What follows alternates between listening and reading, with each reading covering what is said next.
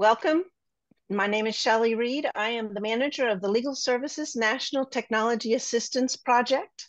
And today we're here to learn about remote work, remote work management. And I'm going to turn it over to our speaker, John Greiner, who's going to give us an introduction to his team. Thank you, Shelley. Um, so thanks everyone for uh, for joining today. Um, I'm uh, oh, sorry, I'm uh, oh, sorry. This was uh, um, I'm John Greiner, uh, and and uh, my colleague Jay Greco and I are uh, joining from Just Tech, um, and we're going to help um, uh, moderate a great panel today. Um, uh, uh, Jay and I both have background working in legal services community and um, and working remotely for sure. And I, I, think in putting this panel together and and this webinar together, um, I think we've learned a lot. We've recognized sort of some of the the pitfalls and and um, uh, some of the successes with remote management, um, and I'm really excited to um, uh, to uh, um, engage in some conversation today. We have um, uh, some opportunities for some interaction, including uh, a breakout uh, session or two breakout sessions. One one that's sort of more tech focused and one that's more managerial focused. Mona, can I hand it over to you? Yes, good afternoon, everyone. My name is Mona Elgindy. I am a supervising attorney at Legal Aid Chicago. Um, very excited to be a part of this panel. And I can just share that, you know, remote work has had a big impact on what I do and how I do it. I was a staff attorney in legal aid um, for about eight years, and I made the transition as a supervisor about two years ago. And so I got to experience kind of both ends of what that was like working remotely during COVID. Um, and so we've got a lot of great tips to share and ideas, and I hope you benefit from this presentation. And I'll hand it off to Ilenia. Thanks, Mona. I'm Ilenia Sanchez-Bryson. I'm the Chief Program and Innovation Officer at Legal Services of Greater Miami. Um, just like everybody, we had to pivot quickly to uh, to being remote, but in that process, I also changed roles. I took, I oversaw intake during the beginning of the pandemic, but since then I've taken over a brand new team that we had to create from the ground up for our grants department. Um, and so it was interesting to sort of have to build something new with new people onboarding, um, being remote, and that's taught me a lot about how to sort of work in this space. And I'll hand it over to Sateesh. Hi, everyone. I'm Sateesh Nori. Uh, it's a real pleasure to be here. I've been a legal aid attorney and manager for 20 years throughout New York City. And I spent a year and a half running a A2J tech company. And to me, I think this topic really represents the future of our work, how we do it, how we reach clients, how we survive, how we retain staff, how we allow people to grow into their roles, and so on. So I'm really motivated to be here and to learn as much as I can and hopefully share some tidbits as well. Thank you, Sateesh. Um, so again, our, our, our, webinar today is broken um, uh, down into some of the, you know, kind of the basics. And for, for some folks, hopefully, again, this is, uh, sorry, um, this is, uh, um, uh, you know, some of the technologies you already have in place. For others, there may be some pieces that, that still need some work. Um, so there's going to be a bit of a tech focus. Then we're going to be um, spending some time talking about um, uh, some of the, the real challenges in building and supporting um, and, uh, uh, and, and managing uh, a remote team while maintaining quality uh, um, services.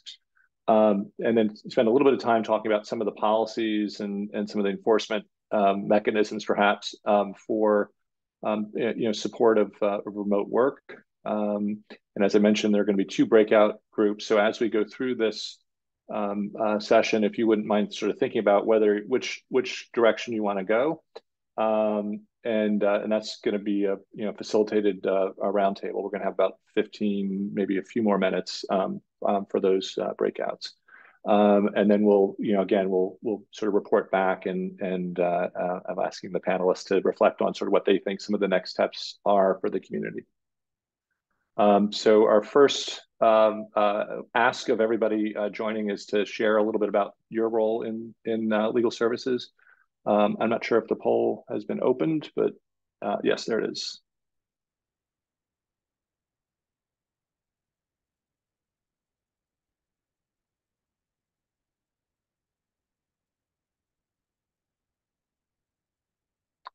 Um, okay. So as that's um, uh, wrapping up, um, yeah, one of the, sorry, this pulls in the way.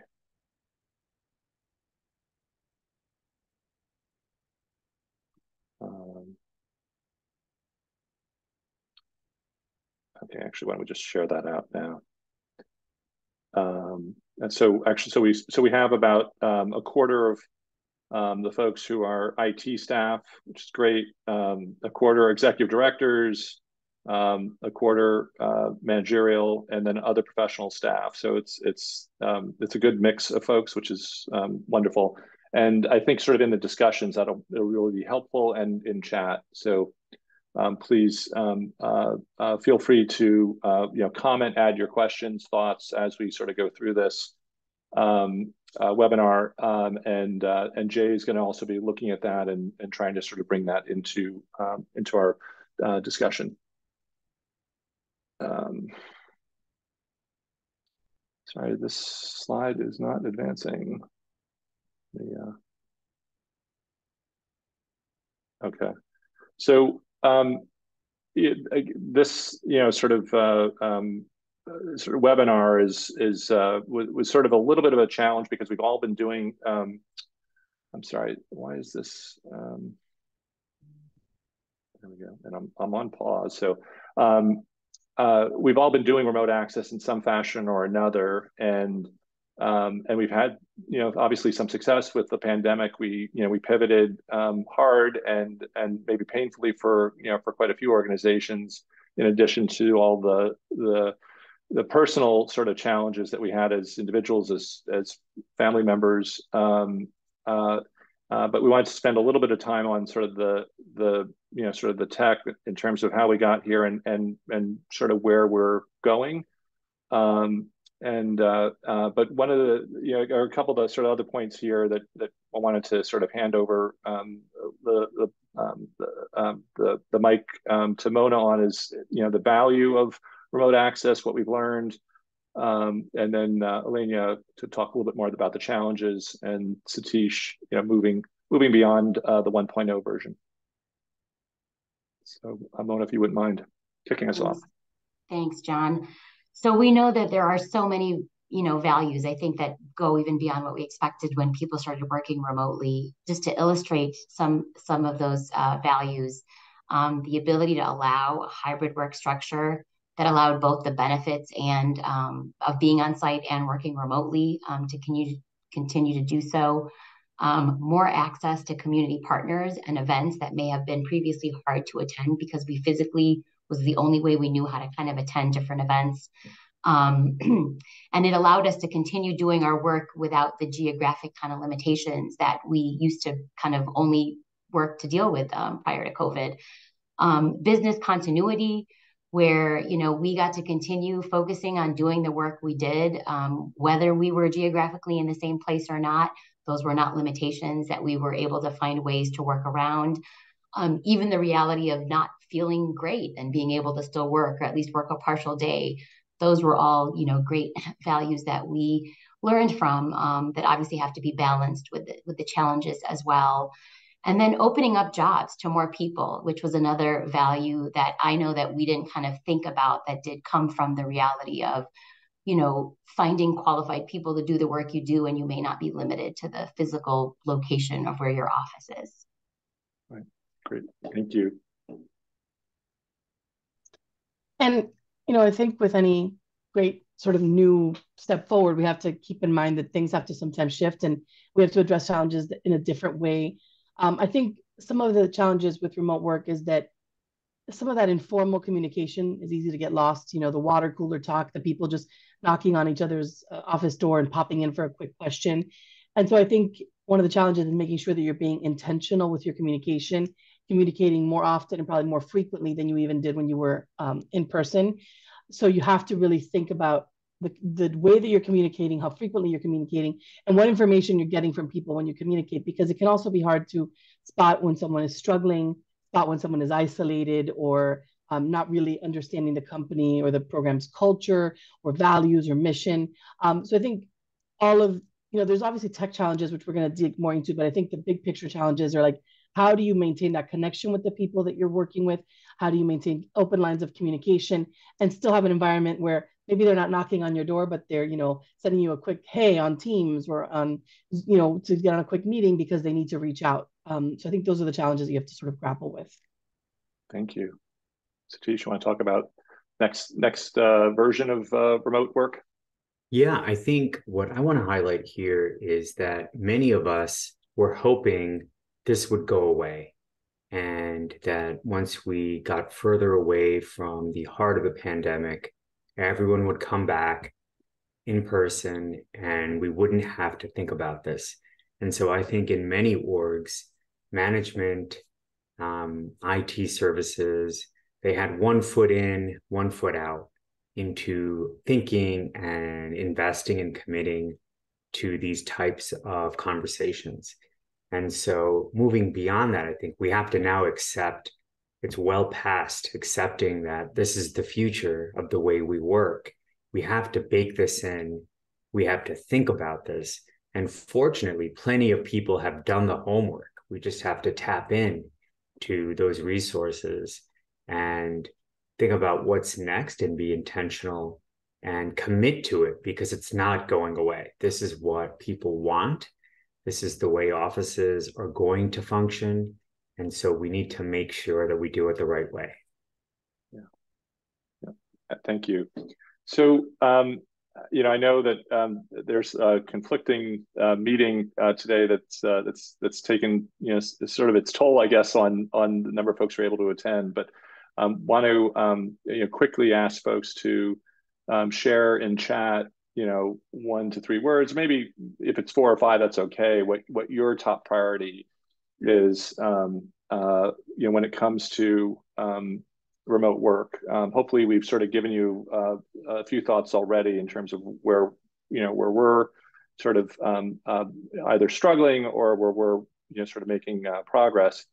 Um, so if you wouldn't mind sharing your your thoughts in chat, and and Jay is going to uh, synthesize that a bit, and in just a few minutes we'll come back to um, to your um, your priorities, and that will help um, uh, focus our discussion. Jay, anything else you want to add before we move to so as so keep keep you know working in chat, but anything you want to add before we move on? Yeah, uh, I think John you pretty much got it covered. Uh, any concerns, uh, things you enjoy, you know, uh, one to three words, we'll get a pretty cool word cloud going, get a representation of what everybody's thoughts are in a little bit. Um, so the, you know, again, like remote access tech, so this, this can be, uh, you know, uh, some of some of the challenges we saw early on, and hopefully everybody as Sateesh is um, is saying, I don't know, um, my, I apologize for the weirdness with uh, PowerPoint, um, but you know, the, there were issues early on with uh, you know terminal servers or Citrix servers not having enough capacity, um, making you know making sure that you're providing enough um, uh, resources either centrally located in the cloud um, or or really sort of uh, remotely with with folks who have decent laptops, internet um, but we saw um, certainly organizations not get their VPN um, sort of set up well. Um, a lot of staff had uh, and continue to have some challenges with with the VPN disconnecting, a lot of frustration. So making sure that you get that that basic tech right and uh, making sure that that what you uh, offer is fast and accessible. Um, you know, generally speaking, uh, we've seen this the trend, um, uh, you know, just accelerate further to cloud services and away from um, data and systems hosted in the offices. And you know, to the extent you can move away entirely from the local office um, infrastructure, it also provides a little bit more resilience if there's, I don't know, a hurricane or or um, uh, some other disruption, a strike. Um, and uh, um, and then, you know, we, you know, continue to see um, this tension between the, um, the, the, provider um, equipment and, and the privately owned equipment. And, and typically at this point, it's mostly mobile devices like cell phones and tablets that may be privately owned.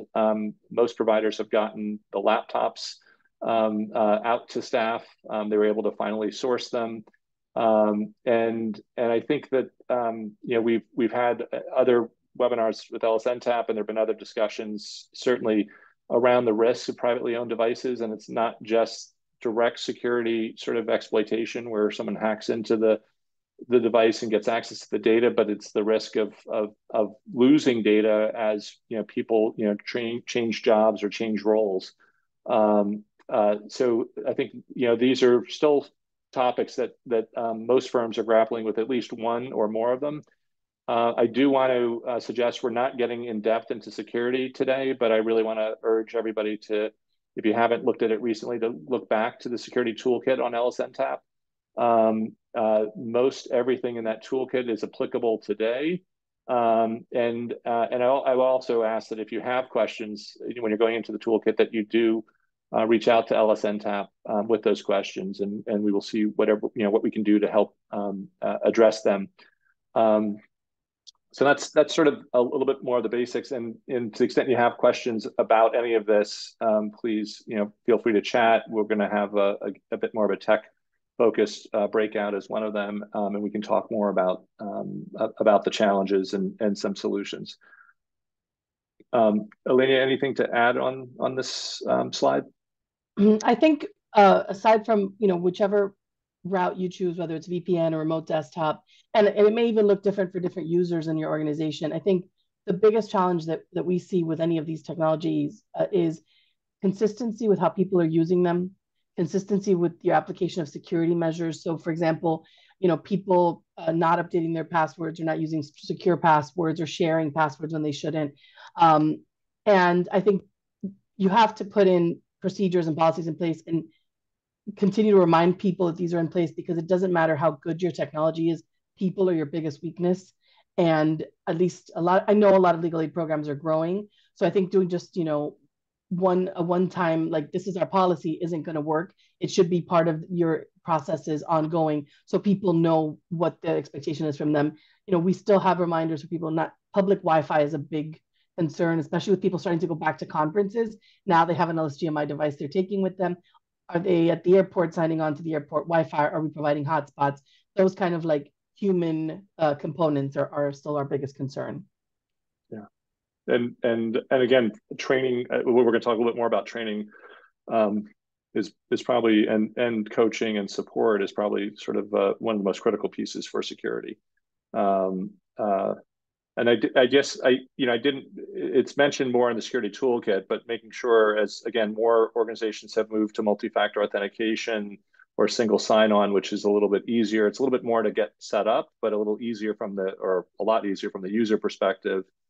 Um, uh, and then, you know, certainly the the mobile device management, you know, doing doing more to support the, the equipment that isn't living in the office full time. So. Um, Lenny, do you want to uh, kick off since you you started on the training, um, sort of your um, your thoughts sure. on uh, managing remote tech? So. Sure. Um, I think it, it, the training piece. You know, a lot of if you're an LSC funded program, obviously you have to do your one big cybersecurity training every year. Um, but we're getting into the habit of recording that and having people watch that as part of their onboarding if they're starting after that. Um, and making sure that you're training more frequently than you think you need to, especially with new staff. Um, and what I have found very helpful with our organization is we do the big annual training, but we've also recorded sort of what I call like micro trainings, like little mini videos to remind people of things, or because a lot of times that's much more digestible. So if it's like a, you know, best practices with a password, uh, maybe a two minute video on that versus they need to watch a whole one hour cybersecurity training to find that one piece of, of password information in there. So just being really intentional with the training as well. And then do you use a ticketing system um, uh, internally to help uh, respond to issues yeah. that folks may have outside the office? So we have a, a we have a managed um, IT provider and they have a ticketing system. But what I found if, you're moving that route is that it it's really great because it provides us a lot of, of different services than we would be able to have in-house with the size of our team. But um, I find that we need to also manage the tickets internally because we we sometimes need to help them prioritize. So we have a ticketing system, um, but also it goes through a shared inbox. So I also get copied and and our my legal solutions designer. So everybody's sort of on the same page about recurring issues, things that need to be addressed. and um, helping people sort of understand the differences between, you know, our servers going down is much much more priority than like your mouse isn't working th- those types of issues but it's important to have them because people need to feel like they're being responded to because we know what will happen is if someone's at home with their work laptop and something isn't going the way they expect it to they're going to get on their personal laptop they're going to sort of get on a different wi-fi provider and that's when you start to run into security concerns so a good ticketing system where people know that things are getting processed quickly is really important and I think um, the point you just added, which is really a good one, is that man, you know, you have a good system, but you still need that oversight, that management of the tickets. Um, really good point. And um, I mean, for us, mobile device management has become a a big, a, sort of one of our biggest concerns going forward now because we have devices that are issued from the company, but but people still access their phones, and we're still grappling with that. Um, we're probably going to be moving to a new provider, but it's it's a concern of how much of people's personal data can also get wiped out if we wipe out LSGMI data and that line of like, you know, people are are people going to not want to use their cell phone? Do we want to limit that? Um, so I think it's something people have to be con- concerned about, but you need to come up with like, what's your policy? How are you going to address this? And does it work for your organization? Because cell phones are not going anywhere, smartphones are not going anywhere, and you need to have some level of control um, over over the security that, that's tied to those devices Yeah, that's a good point. And and I think yeah, we've we've seen a lot of folks do some limited deployments of mobile device management, but um, and then certainly the monitoring and man, remote monitoring and management software is is maybe a little less problematic in in some ways because it's just really helping you manage those devices and make sure that they're getting updated and patched. Um, uh, but um, I think as you get into some of these topics, and again, I think going back to sort of our point that this is now, um, the, the, the, the, sort of paradigm that we're going to be living with for the foreseeable future of this hybrid or remote work, um, um, where it may have been reasonable for the pandemic to not necessarily address these mobile devices that are uh, personally owned or maybe not configured or, or, or controlled by the organization. Um, you know, it's a big question I think that we all have to grapple with, and maybe um, uh, you know, again, uh, we're going to make some steps forward and and find that uh, it it works or it doesn't work. But I th think as a community, it's it's something we can't ignore. Mm -hmm. um, and then I don't know if you know, again, this sort of notion of the you know um, cloud-based access and security. I mean, one of the things that that uh, you know really is critical is that whatever applications you're using for managing and securing your devices, that it doesn't it shouldn't matter where the device lives. Um, it's got to work. It's got to be managed, um, uh, you know, anywhere in the world, certainly outside the office, um, and uh, uh, and so so that you don't have to worry about oh this device hasn't been in the office for a while and so it hasn't gotten the security patches because mm-hmm. that's yeah well I mean, you can talk to that but that is a um, that, that doesn't work. It's too hard, especially if you don't have a big staff of people just waiting to swoop in when when a laptop comes into the office once uh, once a week or something. And and sometimes these things take time. And if you have people who are limited time in the office, they don't want to be handing over their device and now having downtime in the office. So. I think that's right. really important. Also for how people, you know, how, how, valuable people think their time in the office is, uh, which I know we're going to talk about a little bit later uh, in the presentation, but sort of making sure people are maximizing their time in the office. And I will say one of the things that comes up too is this sort of forces us to look at all the different technologies, all our different departments we're using, because some of things, some of the programs were available in the cloud. We just hadn't had them pre-pandemic in the cloud, and making the move to making sure that all of them to the extent possible are in the cloud. Um, for example, our finance department had a lot of older software that was very like you had to go into the office to work on the on it. And at the beginning of the pandemic, we had VPNs, but when we moved everyone over to laptops, there wasn't really, or I'm sorry, remote desktop, and there wasn't anything for them to really remote into. So then we had to make sure that those programs were getting moved into the cloud so that they could work effectively from anywhere. And for us in South Florida, that I mean, I think this is becoming a problem nationwide, but that's even in response to a storm. You don't want your finance department to not be able to work because they can't access the server that's in your office. So um, I think it's important to look at what you don't have in the cloud and if it's possible to, to move it there. Thank you. Um, so let's see. Jay, would you uh, share? Absolutely. yeah. Yeah. Thank you everyone for uh, putting your answers in the chat. We're seeing, you know, some of those big uh, concerns that everybody has with security and team building. I know we all know that that kind of constant access can really be a double-edged sword. So balancing, you know, the availability of everybody being able to reach everyone, but also, you know, having your own time to yourself, feeling like you have um, a good work-life balance. Um, Zoom fatigue, I think, is a really important one. Um, employee success that's tied into these, uh, you know, thoughts on team building, making sure that we're collaborating effectively. Um, yeah, it's, it's not the most expensive word cloud, but I think uh-huh. we got we got some really good ideas here. Yeah. Thanks, everyone. Thank you. And uh, so um, the remote tech issues. Um, so we, I think we touched on some of these, but Ilenia, do you want to? Oh, I don't know. My I've, I've uh, my PowerPoint is uh, possessed apparently. Um, I would. You want to kick us off on on this? Sure. Um, you know, I think the the support issue is really important because um, especially as people are home, you want people you want people to, to be consistent with the way they're using your technology, and they have to feel like they're being supported by your program. Um, if not, they will go rogue, and they will just start doing things that they're not supposed to be doing. Um, I think the infrequent and inconsistent training for us was really important because I think technology this can all be really confusing, especially in our organization. We had people who did one thing one way for a very long time, and if people don't understand where they're supposed to be saving or where their SharePoint is or what's the OneDrive, or that can all also lead to, um, I mean, we had somebody who did not know they weren't saving in the cloud and then their computer died and they lost 18 months worth of work. Um, so this is, you know, it, you want to make sure that people are understanding the technology they're using and that you're supporting them and training them properly to be able to to work at home successfully. And going back to Mona's point at the beginning, this is so valuable for so many of our employees and has helped us expand the pool of people that we hire. But we need to make sure that they're being supported in this so that they're successful and it's not the technology getting in the way of the work. Yeah.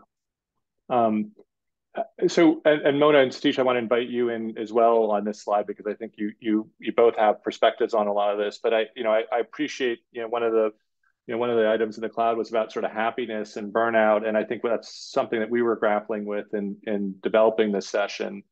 Um, and but to some extent, to you know, technology can be a morale buster, right? or certainly a morale lowerer.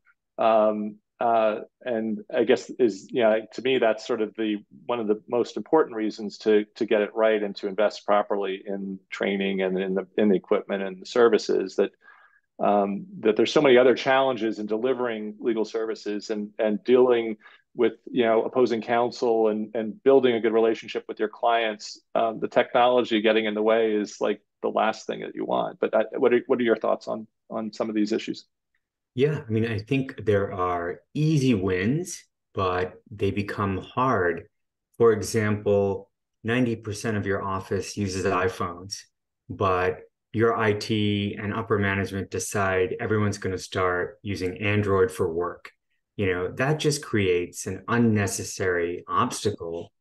And often there's no explanation given.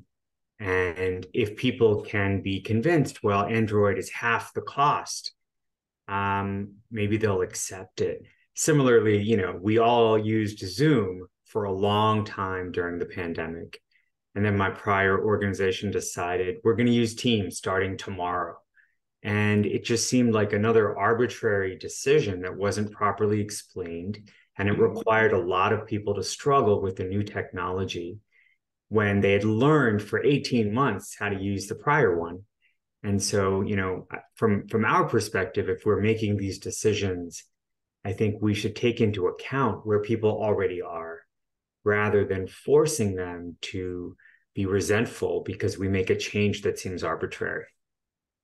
Especially where there is a viable alternative, right? I mean, like yes. sometimes like MFA, maybe there is no viable alternative to helping secure that front door. But your point about like sort of the the you know different technologies that do the same thing.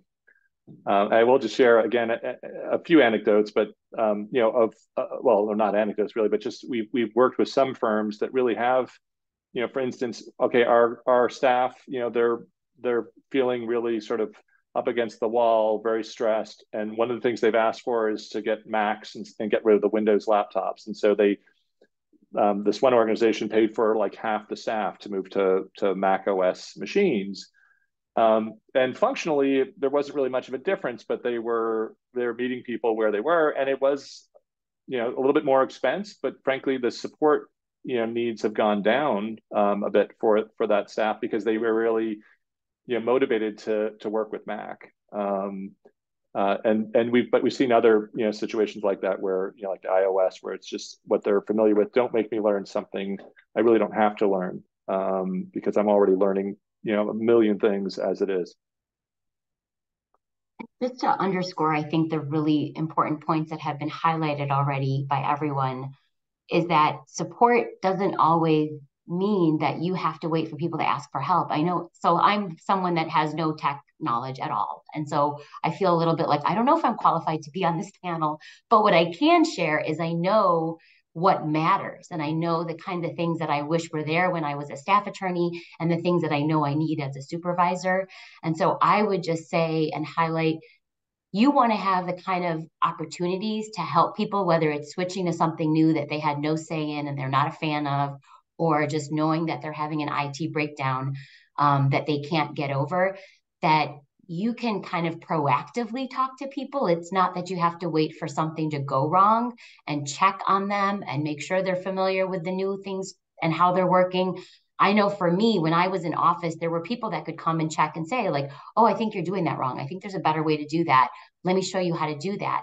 The reality is we don't have that kind of opportunities coming. So you even need a higher level of like people involved and aware of kind of did that change go well? Was it worth it, you know, to ensure that people aren't going to feel isolated?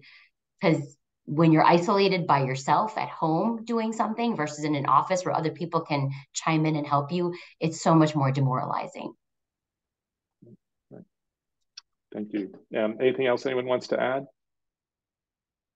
I, I would, you know, we, we talked a bit about sort of the, you know, volunteers, and I know Sateesh actually on some prior presentations that he's made has talked about some law students that that he worked with during the pandemic that he never met in person and they and a client that they never met in person. It's like there there are sort of all these opportunities as as mona was saying too uh, that you know that you know how we can sort of um, increase the um, sort of the pool of um, of colleagues and and law law students and whatnot that who we work with um, but making sure that we understand and i think that this has sort of again been a, an issue it, it touches on security you know how volunteers um, are going to access your technology um, how they're going to uh, make sure that that data um, that they generate while working with you stays on your systems.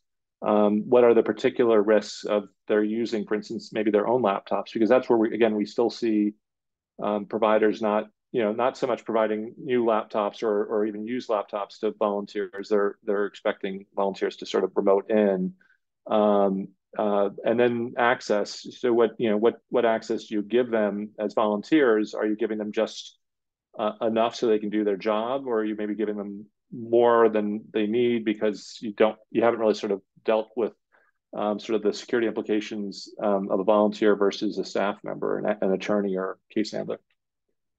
Um, okay, so we'll move on to the um, kind of a again, maybe the, the, the trickier subject, this, you know, the whole sort of um, uh, challenge moving, you know, moving forward to improve morale and happiness and um, uh, and maintaining um, uh, uh our our connections with each other. Um, so I'll I'll uh, I'll hand it hand it over. So onboarding and offboarding, I think this was a, a really important part. You know, one of the things I think we we grappled with with onboarding was um, part of our onboarding was not just the the initial like documents and all that, but sort of making sure that they everyone met all the right people, that they knew who they needed to go to for all these different issues. And one of the ways um, that we decided to do that is, you know, making sure that when people start, even though we're remote, they're going to start in the office to sort of get immersed in all that and have a chance to learn all of that but it didn't really work initially because we weren't making anybody else be in the office. So there wasn't a lot for them. So the onboarding was sort of not succeeding in the way that we thought it would.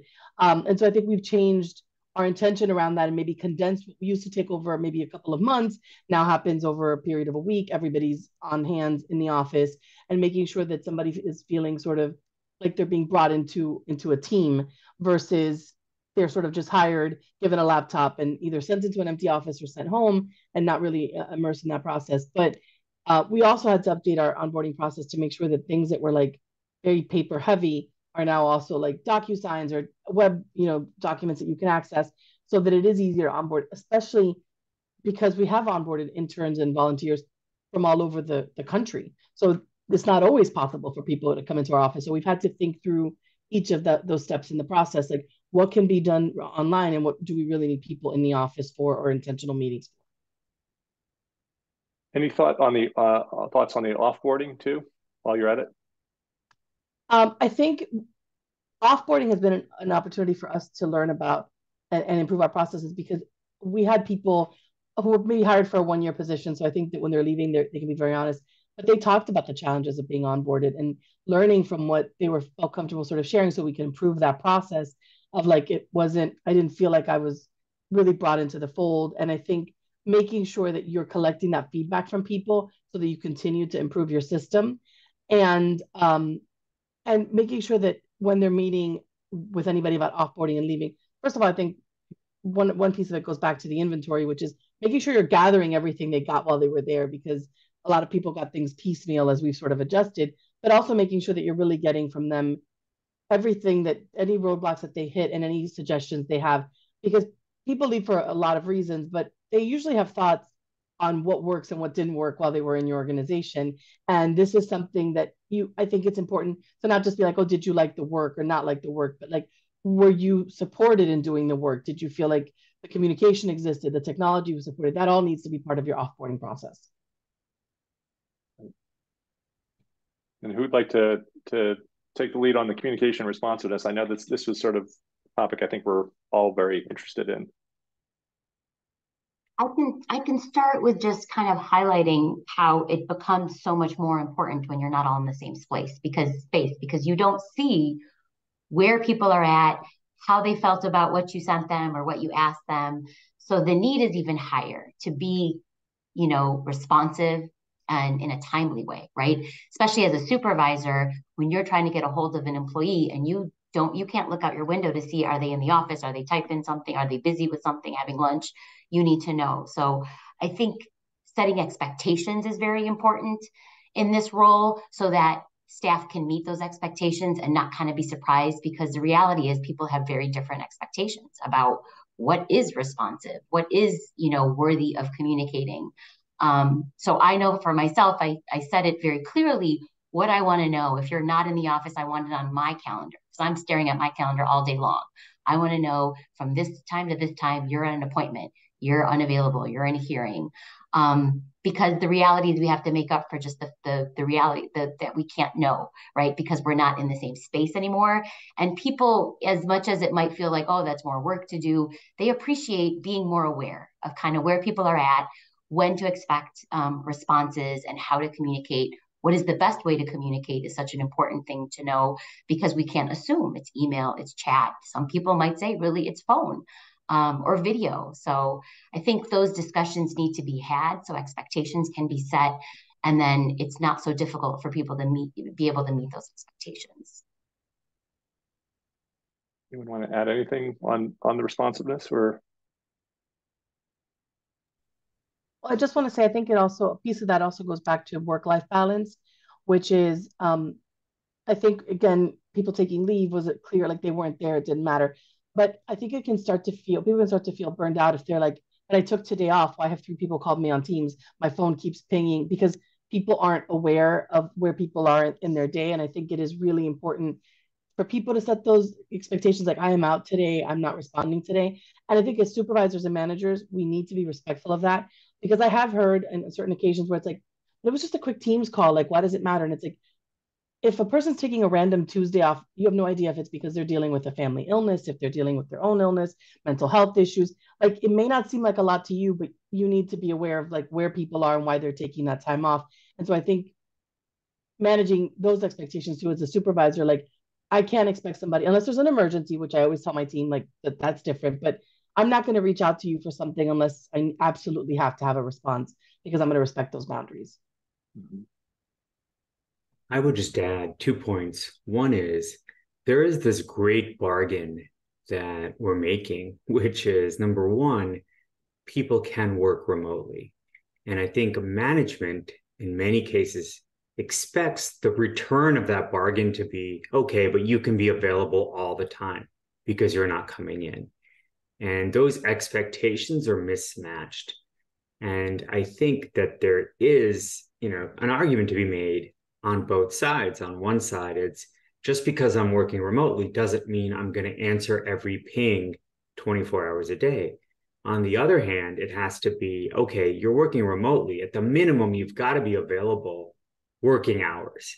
And then the second point is, you know, we are doing client service work for the most part.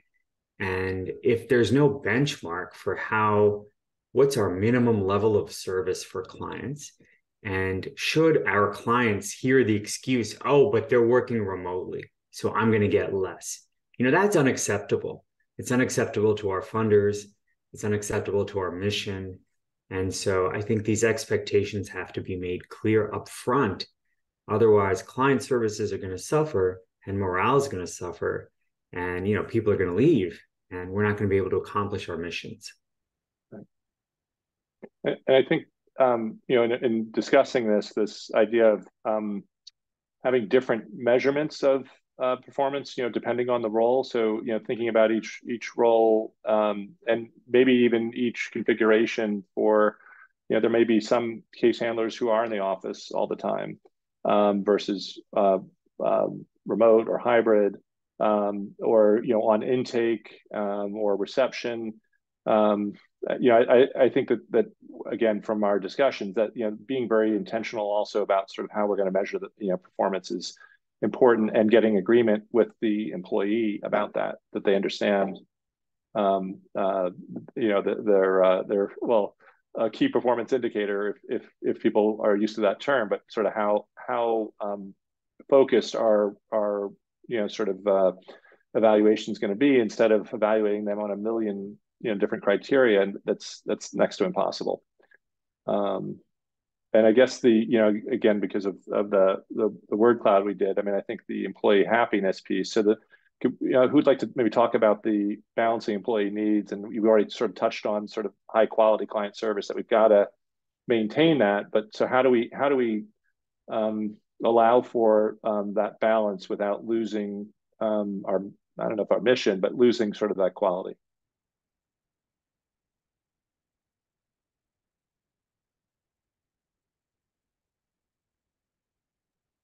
I mean, I think we can be flexible and creative in making sure that all the hours in a workday are covered. So not everyone can work remotely on the same days. Mm-hmm. And I think in too many orgs, it's just the Wild West. Like, oh, no one works on Fridays. Too bad. And that's unacceptable if we're going to deliver client services because people still get evicted on Fridays. People still have court appointments on Fridays and hearings and and for some clients friday's their day off so we have to be available so they can meet with us mm-hmm. so we have to organize the week so that you know everyone can't have the same days off for example or during a particular day you know everyone can't be off from 1 to 4 it's mm-hmm. just not going to work so we have to balance that out just like with vacation schedules in the pre-pandemic era everyone can't go on vacation the same week. Um, we have to have coverage, and and maybe that's one way to balance these two, you know, competing interests. Is okay, you can take that time, but there's going to be a balancing, which is that someone else can't take that time, and we have to work it out as a team.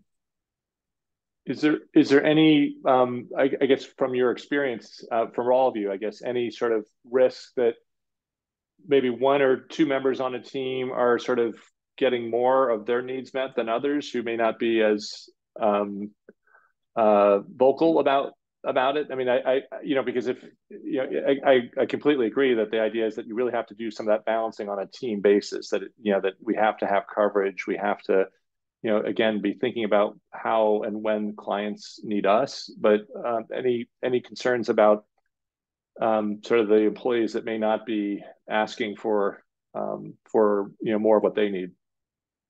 I think, I, yeah, go ahead, go ahead. No, no, uh, Sateesh, I'm sorry, go ahead. Yeah, I mean, in, in, in a legal context, I think it's an HR issue. Like frontline managers should not be making calls on whether one person versus another gets time off because of some issue, illness, need. You know, you've got to have a process so that these calls are made and they, they shouldn't be made by the person directly supervising them because it's too fraught, too many mm. things go wrong. And if you're big enough, you know, your org is big enough, you should have a decent HR person or team who can just field those kinds of requests and then at the kind of work supervision level, no one should have to make those calls. It's too difficult. I, I completely agree with what Sateesh just said. I think the only nuance that I would add to it is that, and maybe it's because of the position I was put in recently, which is I was supervising somebody who'd been with the program over 20 years and somebody that'd been with the program for less than 20 months. So when you have a team of those kinds of people, the person who's been here 20 years has sort of the capital in the program to be like, I need an accommodation or I need some additional support. I need to work from home on certain days. And I think that's where this all loops back, I think, in, for, in my world for communication, because that's why it's important to keep those lines of communication open. Because even if the employee who's only been here 18 months doesn't want to ask for something because they're afraid it's going to come off as though they're, you know, not doing their job or they're just scared, they don't understand the culture. You're hearing when they're saying, you know, I'm going to make such, a but like my son's been sick for two weeks and I don't know what's wrong with him. And, and then you're like, well, I can't approve it, but is there something I could do to support this? And then if the person says, well, if I could change my work from home days because it coordinates better with my partner or my spouse or my parent, somebody who can help me, then I can go to HR and say, like, is this the kind of request we can approve? But it's keeping those lines so that even though you're not just, I, I don't just willy nilly approve things for my team, but hearing when they have needs and then helping when people don't feel maybe as empowered to go up the ladder and say, like, what can we do to accommodate this person? Yeah. Yeah. The, the only thing I would just add to this great discussion is that it, it does come down to transparency too, right? As as much as you can legally share is people don't know why you decide what you decide, but if you can give a rationale and an explanation as to why this person is remote and this person is not, they can feel better about the decision, even if they may not like it. I mean, at the end of the day, when it is high quality client service, that is the goal.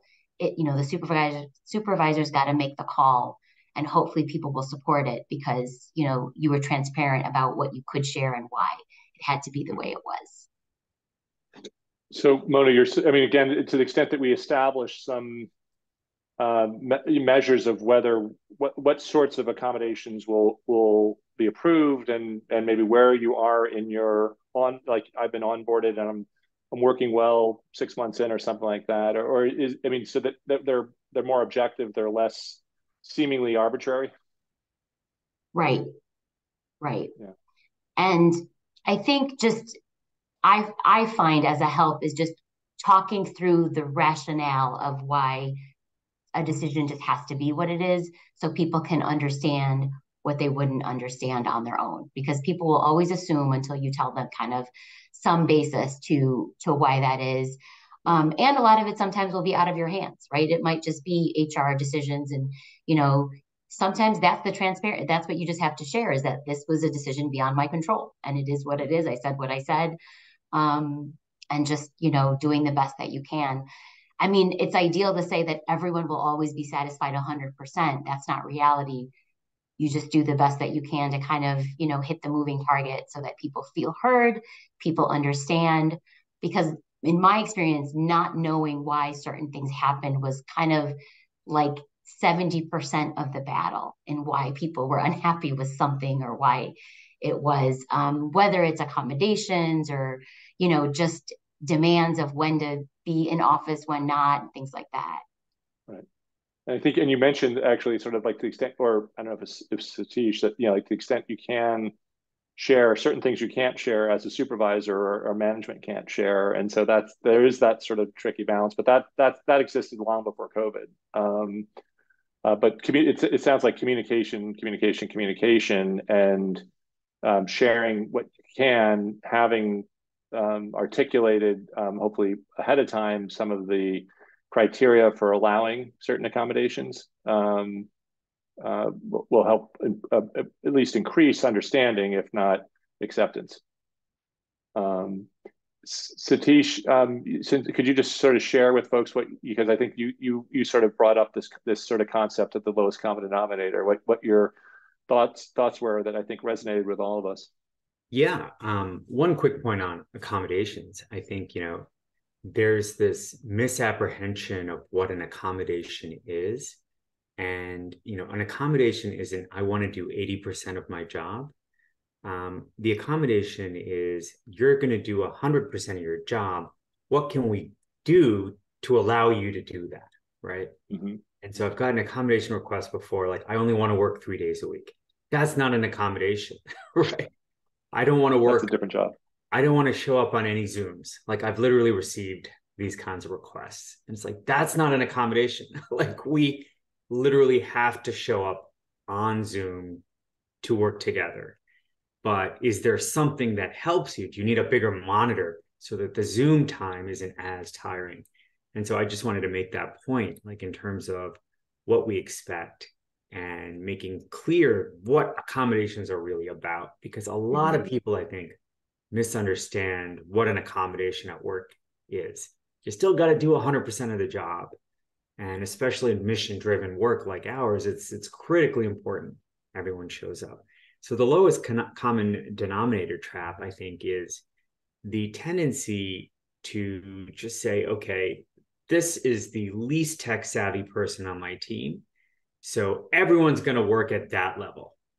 And that's really difficult to maintain and to grow and to progress and, and to deliver, you know, client services at a high quality level. Instead, and also I think I would add that the lowest common denominator, like the least tech savvy person, often takes up the most time for everybody else, for, for IT, for managers, for HR.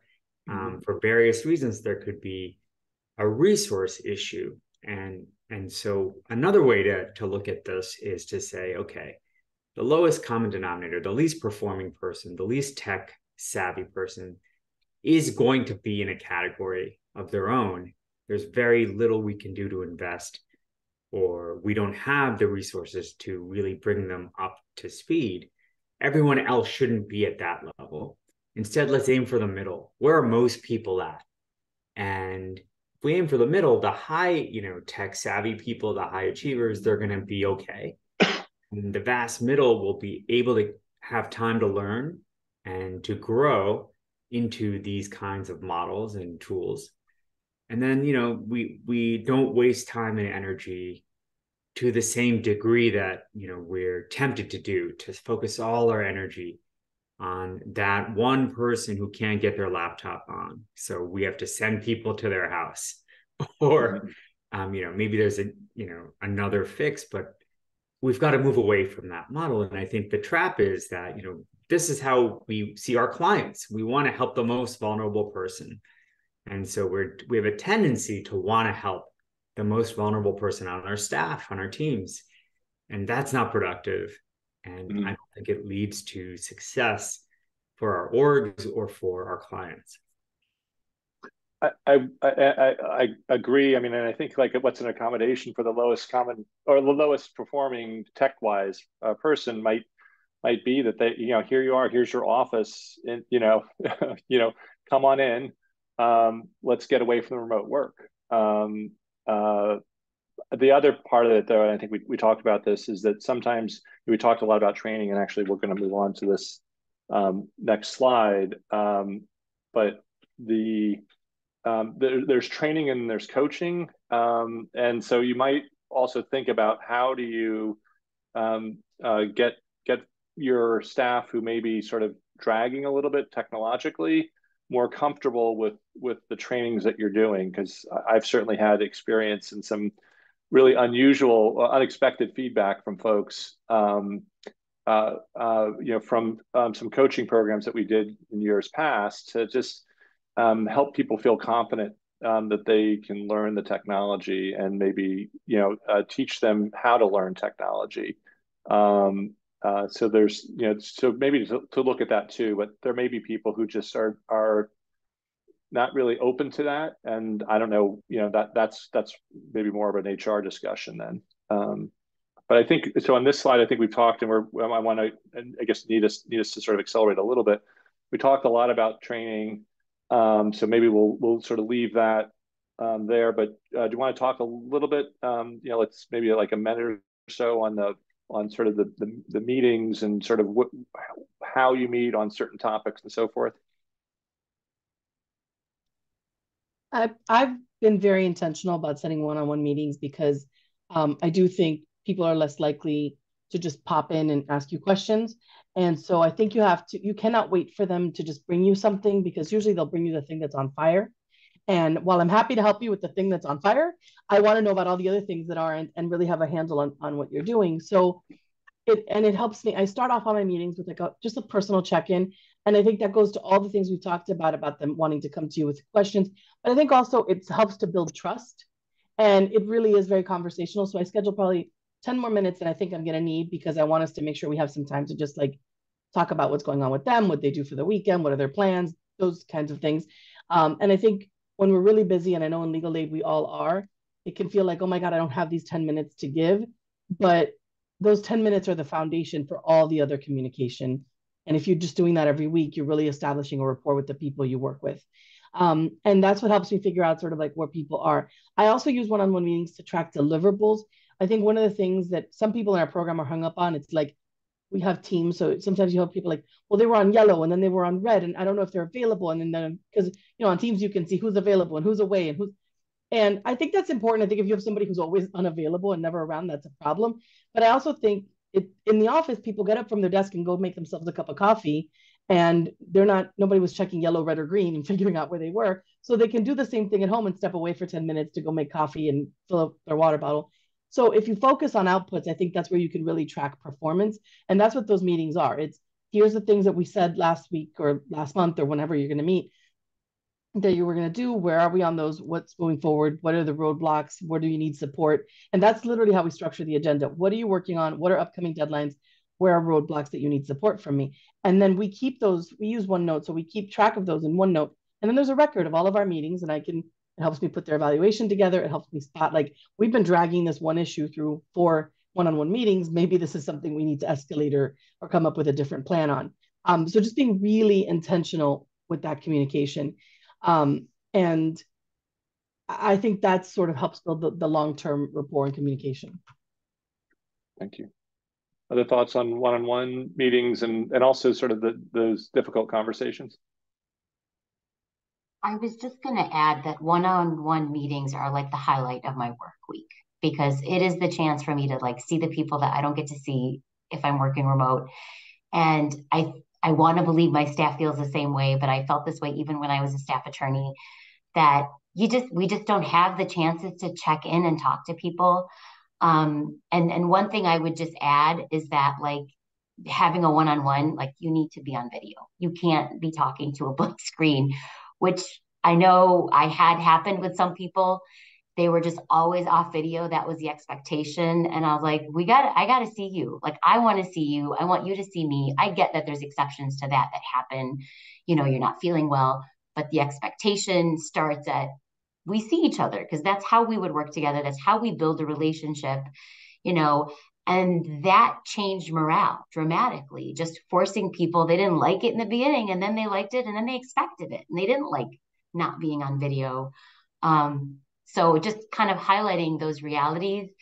And I think um, just kind of talking about like, um, well, I'll stop there because I don't want to keep going, and I know we have a lot to cover. So yeah, well, thank thank you, and and uh, you know, on I think we've talked a little bit about boundaries and burnout um, and sort of like the responsiveness issues you know we're not 24 7 right like how do, but any any uh, you know sort of quick comments on on boundaries and burnout that you want to share I think the one-on-ones are a great chance to even see where people are at. I know that I will use those opportunities to to check in and make sure people are how's your week? What's your workload like? What is it like? So just um, and having boundaries is important and making sure that things are not 24 7 and explaining to people if I'm emailing you at 9 p.m., it's only because that's when I had a chance to do it. Do not mm-hmm. respond. I don't expect you to respond. So making it very clear that work time is work time, non-work time is non-work time, and you have to kind of follow what you say, right? So. Well, it's it, it's interesting because as we were talking about sort of accommodations, you have to do 100% of the job, but it may be that you know, I do take a three hour break in the middle for some childcare responsibilities and I come back. And so nine o'clock is part of my normal day, whereas you might work straight through to, you know, five or six and that's it, you know, and so it's, um, yeah, I mean, I think maybe it's the diversity of our, of what our normal work patterns are. Um, and maybe making sure that everybody understands when we are normally available, you know, when we're normally working so that um, we have a sense of, of you know this uh, you know uh, this person's maybe stressed out they're sending me stuff at nine o'clock like no they're actually just as you said just getting to it because that's their schedule. Um, and I, again i think we talked about um, uh, measures of success and and uh, you know client um, making sure that that uh, sort of how um, how we work with our clients um, and the outcomes or how our the staff we supervise uh, work with clients and, and the outcomes they achieve um, you know, that that can't be negatively impacted. But any any, any thoughts you want to share there? I can definitely add that, you know, it kind of starts with where that employee is at. I feel like to, to be truly successful in measuring success, you have to know where each person is at and what is going to work for where they're at. Some people, they're they're not going to be able to offer the best quality service at home versus in the office. excuse me, and, and vice versa. And so I think it just starts with understanding where someone is at, what the goal is, and then making sure you can meet that goal and the goal is not being compromised because of where they're at. So, and that's where accommodations come in. That's where team building comes in of, well, you can't do this. Is there someone on the team that can do it? Um, so everyone knows collectively you're not on your own. You have people you can count on. And ultimately, we want to support each other as we're going through what we're going through.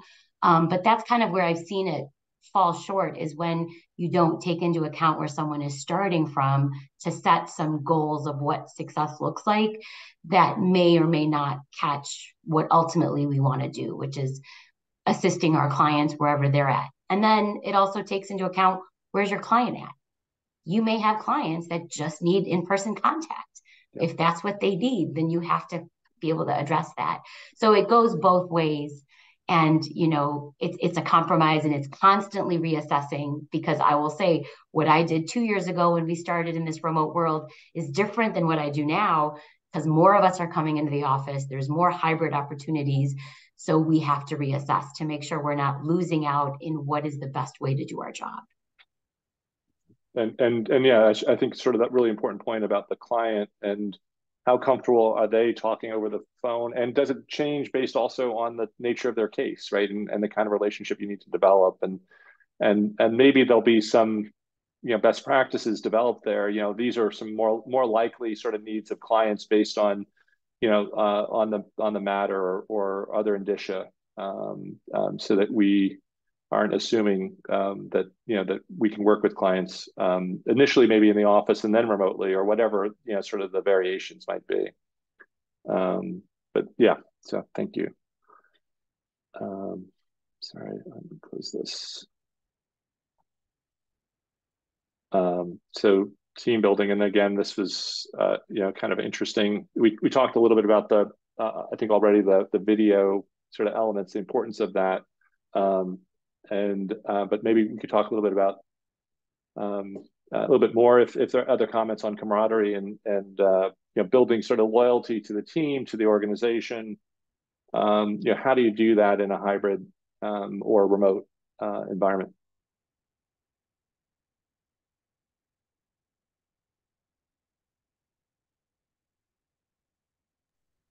But I think uh, one thing we've done is that we, we try to have when you're having, you know, people, when the people do come in there in the office, building meetings around everyone being there because there is sort of informal chatter and stuff that can happen. Um, so again, maximizing your, if people are hybrid, when they're in the office, making sure that don't assume that it's necessarily going to happen, especially if you have a bunch of new people who've all started, you know, during the pandemic and haven't had that much time to interact in person. Scheduling a lunch, or you know, bringing in pastries in the morning and having everybody sit for 20 minutes and have coffee and maybe talk about what projects they're working on. So just building that sort of because then once it's built, people will sort of I think run with it on their own. but you have to make sure that you're giving the space and the opportunity for that to happen. There's One also... of the things I, I, I've heard, sorry, go ahead. Oh yeah, I, I was just gonna caution that there is nothing worse than a forced um, social thing on Zoom. It's like, you know, in the beginning they were fun, the icebreakers and the games, and now I feel personally like I can't do it anymore. I don't want to do another icebreaker on Zoom. I don't want to play trivia. You know, it's just getting too mind numbing. And so I guess you have to know your audience. Like, what what do people want to do? How do people want to interact? And the other thing is like, you know, people st- are turning their cameras off. So what's what kind of social interaction are you going to have? How are you going to build a team if half the people have their cameras off? So another challenge that we first have to overcome before we can build teams. Like, are, do people even want to engage in this way? Are there other ways? Like a weekly lunch might be better than five check-ins a week on Zoom. So, you know, we just have to be open and know our audience. Who are we working with? Mm-hmm. Or maybe asking questions. Yeah, go ahead. Sorry. I was going to say Sateesh hit the nail on the head because I I, I was going to also share you have to have your team buy into what it is that is going to make them feel like they work together and they do it well. And if it is very top down, like we're going to have an event or even a social in person event, and you should come, but no one kind of had a say in what that event, how it got planned, what it is, how much it's going to cost, you're going to alienate people, you're going to miss your goal. So I think you really have to get buy-in from the team. Like, what are the things that we want to do? And from there, there's so many examples of things that can work well. You know, be an in-person lunch. And I do think that these things sometimes only work if they're in person. Sometimes they work well remote. But the reality is that we all recognize that being in person has a value that we did lose being remote. And while it was great to not have to be in person to talk to people, we still enjoy it. And I know I had staff that were starting out remote who never met in person were like jumping at the opportunities. And we said, we are now going to have a mandatory, semi mandatory monthly lunch of our team. And it just opened up the door to create more social events and activities. And people started to go out for coffee together the days that they were in the office. They started to plan their days together when they'd be in the office. So I think um, a combination of what your where your team is at like can you meet physically? Take opportunities to do so.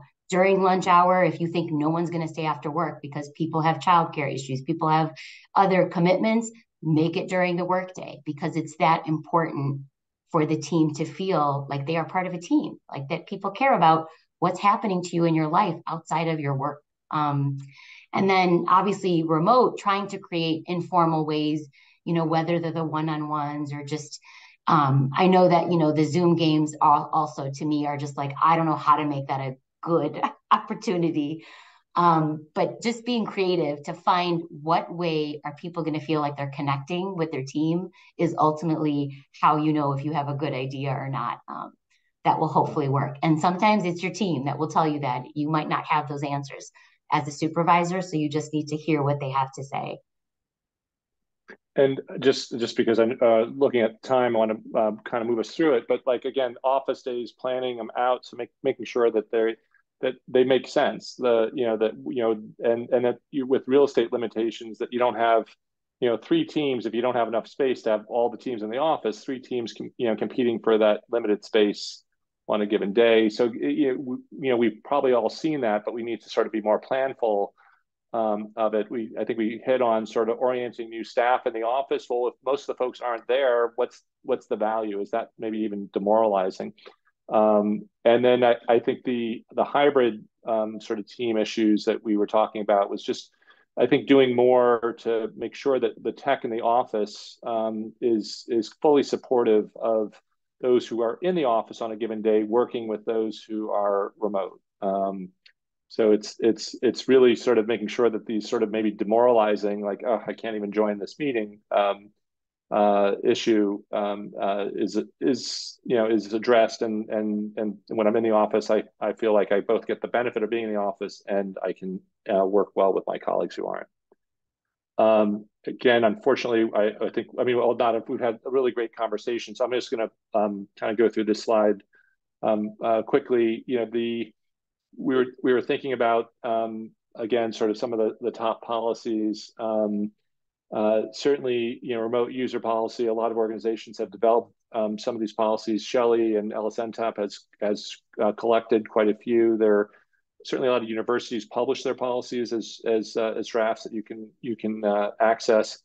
Um, but but certainly having a remote uh, use uh, policy so that that might include a lot of your basic security and and uh, and even sort of um, how you access CMS, for instance, if if uh, you're allowed to do reports when you're outside the office or not.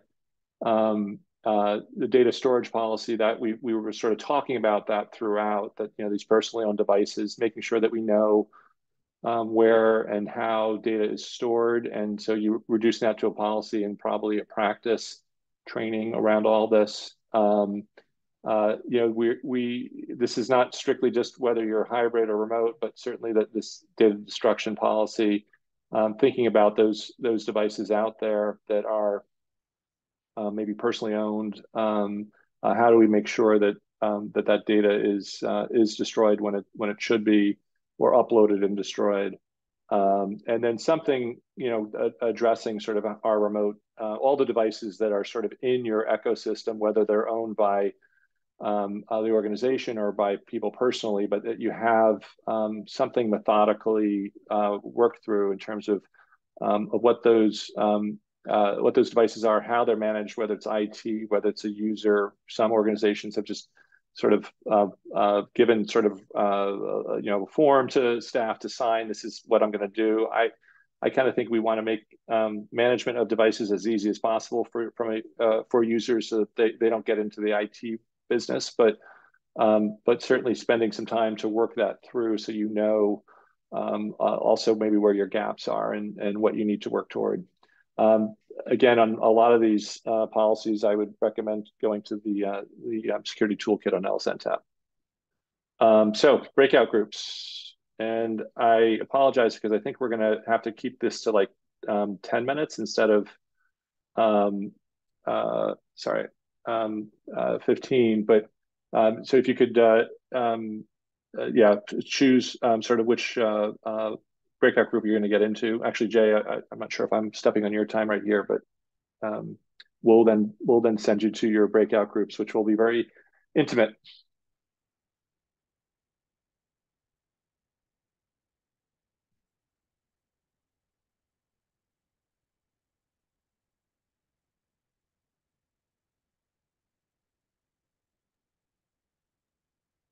Sure that the poll is sending people.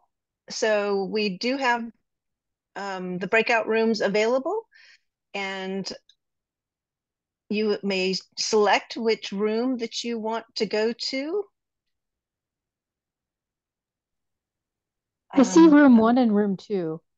Yes, it, we, we lost our, our options. So room one will be supervision. Room two will be software. I apologize. I'm not sure what happened there but everyone can go to breakout rooms. There's a, um, if you click the, there's four little window grid down at the bottom bar of your Zoom window, and you can select which room you would like to participate in.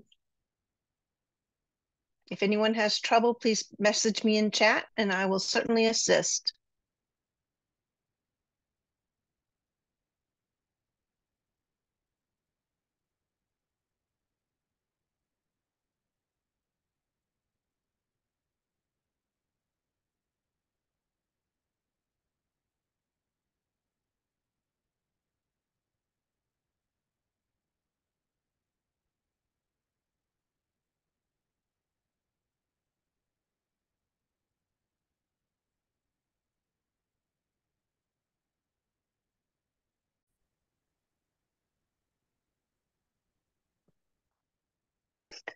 And I'm going to remute.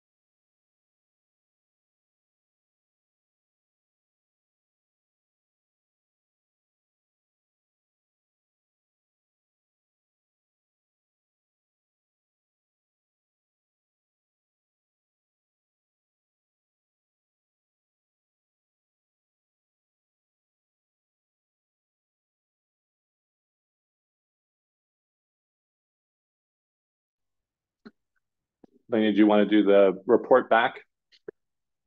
And your next thoughts, you know, sure. thoughts on next steps? Thank you. Um, we'll give folks another minute. Yeah.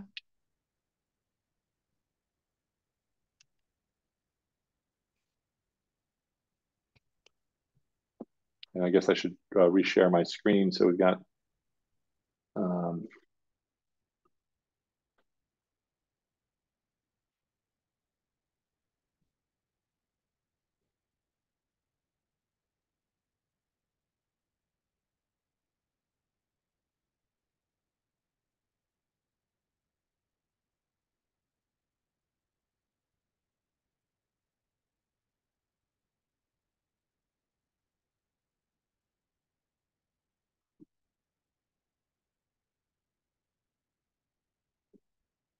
Hopefully folks are coming back.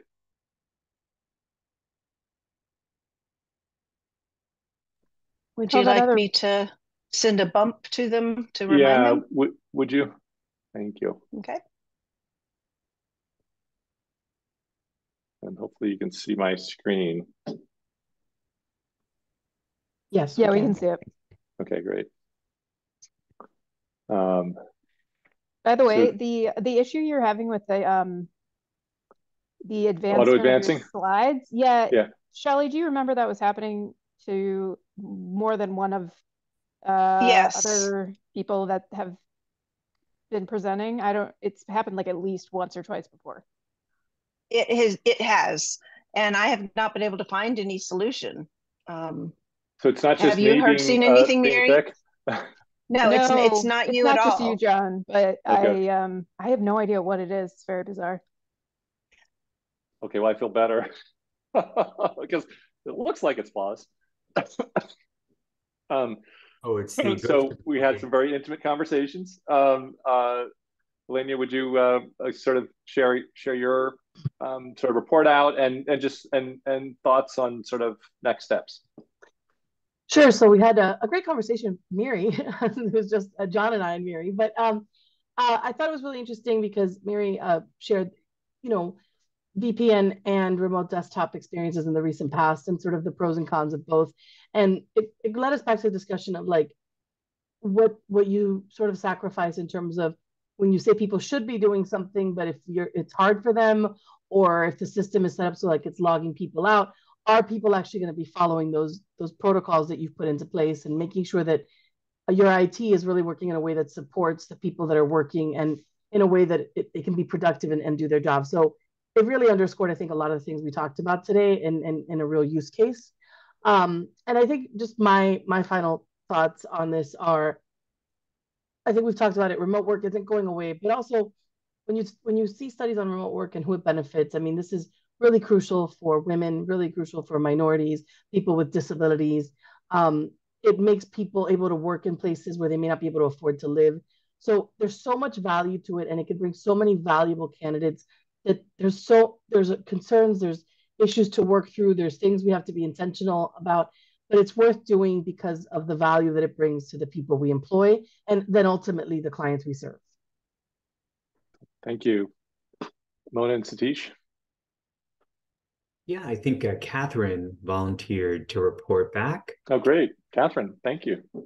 Yes. So in our group, we uh, discussed some of the challenges with supervising people um, who are working hybrid um, schedules as well as just totally from home.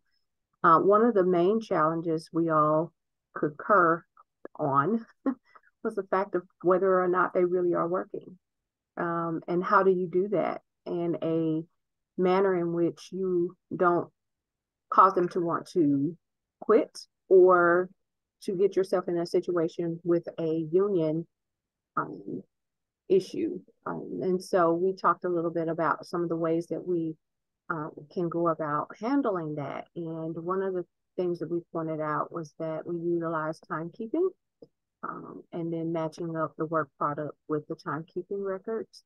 Um, I also mentioned that I utilize um, two-factor authentication logins uh, as a way to know when they start and stop work, um, as well as Teams and um, Slack, just knowing when a person is of it, you know, the little button that we talked about earlier uh, in the day, um, whether they're available or not.